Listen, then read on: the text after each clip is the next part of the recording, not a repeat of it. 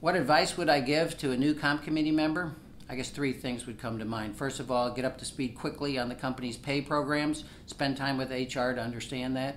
Second, meet with the comp committee chair to understand his or her expectations on your role in the future. And third, don't be afraid to provide good advice and challenge when presented with topics uh, of the day.